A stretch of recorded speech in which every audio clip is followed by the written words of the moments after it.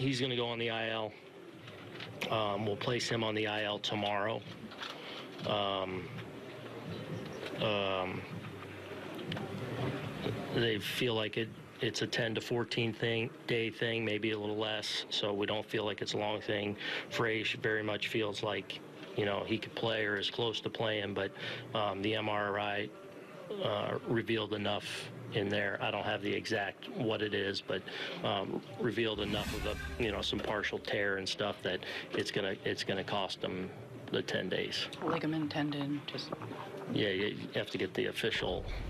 I, I just got it, and it was I, I didn't understand the. Did Do you know who's coming up? Do you know who's coming up? Um, so he'll we'll place him on tomorrow, and then Harvey will come back for him. Did, did he hurt himself tripping over the base, or did he, some, did they fall on him? What? how- how He just kind of he kind of twisted it on the base. Yeah. on the base?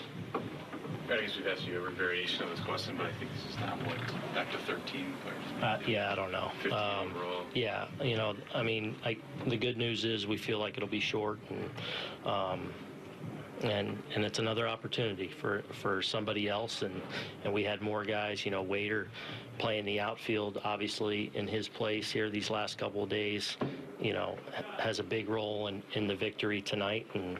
Um, we got a lot of good players in there that are capable of getting this thing done, so we'll keep on doing that.